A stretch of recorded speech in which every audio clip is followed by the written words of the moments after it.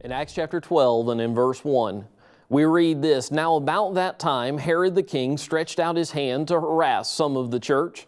Then he killed James, the brother of John, with a sword. James, the apostle, is going to die for Christianity's sake. He's going to die for the testimony of the Lamb of God.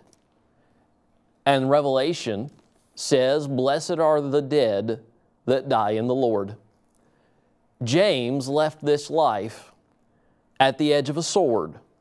You might leave this life in one of a million different ways, but my question for you is will you be ready?